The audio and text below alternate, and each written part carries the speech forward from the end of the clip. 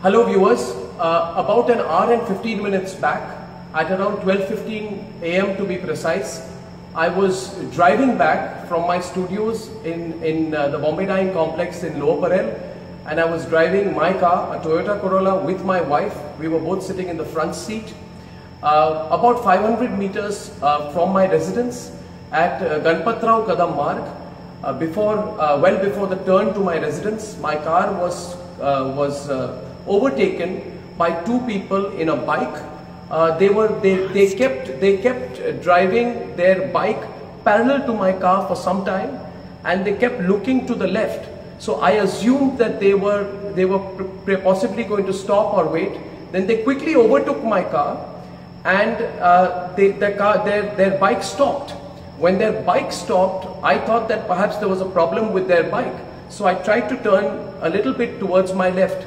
At that point of time, one of the two people started pointing specifically at me and he turned his bike back and he came right next to my car and then they started hitting my car with something and trying to break the window pane of my car. They were repeatedly hitting at the window pane of my car repeatedly. Their attempt was to break the window pane of my car. So for a few seconds, I, I couldn't quite get what was happening. It took a little while to react.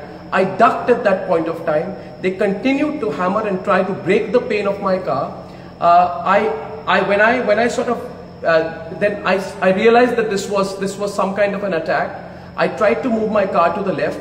Then they started taking out bottles and they were furiously throwing liquids at my, uh, at my car. Uh, they were, they made another attempt to break the window panes of the car. This continued.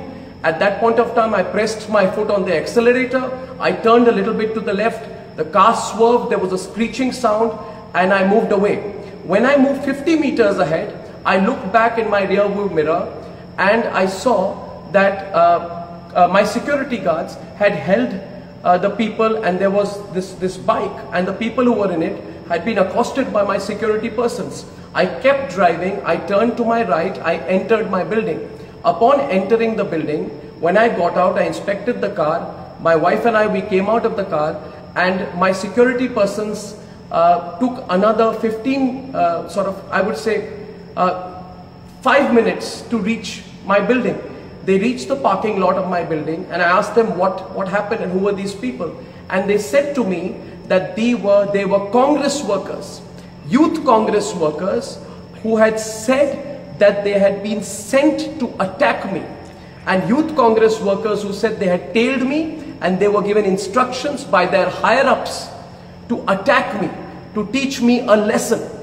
So I just want to tell you, Sonia Gandhi, that you're the biggest coward in this country right now. You, Sonia Gandhi, tried to carry out an attack on me when I was driving back from work. You know the questions I have asked you are absolutely appropriate. You have no guts to face me. My questions against you will increase. The questions I'm asking you are legitimate questions.